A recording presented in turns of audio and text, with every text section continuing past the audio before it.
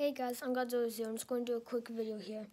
So, as you probably read from the title, um, MST3K, The Gauntlet, Mystery Science Theater 3000, Season 12, The Gauntlet. Um, uh, if you don't know what MST is, uh, I, I talk about a lot, especially on Instagram. Uh, follow me, Godzilla Zero. Um, but it's a show about a janitor who works with uh, mad scientists, so they shoot him into space and they send him back bad movies.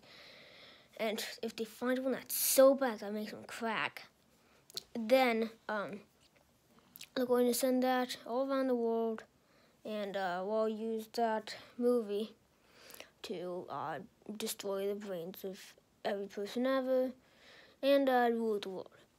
So he makes robots to uh, keep him company, and they make fun of the movies. Um, it's very popular now, known as riffing. Um, but yeah, here we go, uh, season 12.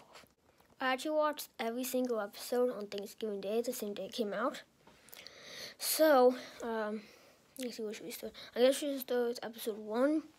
Um, I thought it was fun to see Jonah here. So it used to be Joel, who's actually now um, Eddie and then you like you need to, I'm not going to explain everyone. You just need to watch it.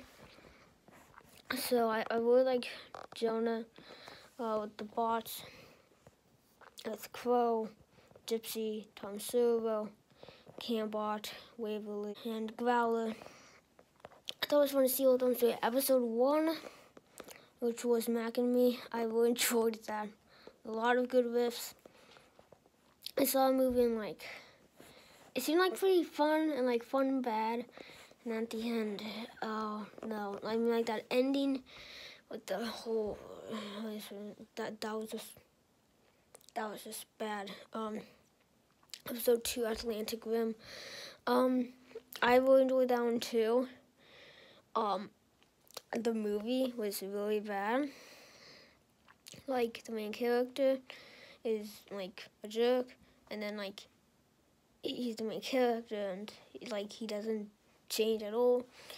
Uh, but like, and like the whole thing about he don't know what the secret plan is. Uh, the bots. Um, I enjoyed that, and like you don't know what Jonah's story of escape was. Um, but yeah, so I really enjoyed that one. Um, we're gonna go on to episode three now. Episodes three and four, I think, were the best. Um, three Lord of the Deep Down was just weird. I mean, like, weird, weird. And I really liked um, the Professor Darnasine vibes. Uh, I like how she's like crazy about like all these um, creatures. And I saw her at MST3K Live, The Brain. I was on Facebook, you didn't know.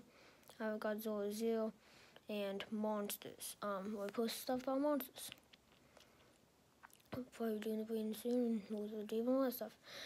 Um, next movie, which was uh, Daytime Ended. Uh, I really enjoyed seeing them finally. Spoiler, spoiler alert.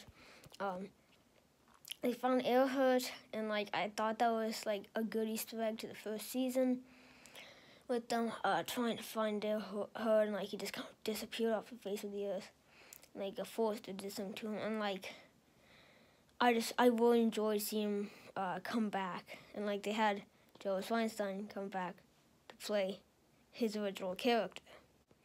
Anyway, so daytime and man, that was weird. That was such a weird movie.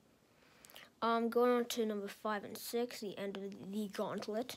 I think it was actually called the Gauntlet because of uh, the Infinity Gauntlet with, um, you know, Avengers Infinity War, all that stuff, because it has six stones on it. Let's see, we have one, two, three, four, five, six. And speaking of gems and stones and that stuff, uh, brings us to kill fish, well, people stealing gems or attacked by piranhas. I've really enjoyed that part. Well, everyone's trying to figure out what kind of fish it is. Uh, I like seeing just Crow's head. swimming by on this little fish body. And Tom's Tom idea of it was an octopus with razor blades doing cartwheels, and that's what was killing people.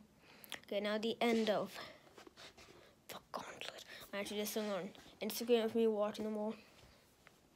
I don't know where was kept shouting them out. Um, here, I'll get to follow Jonah Ray on Instagram and Mr. Science 3000.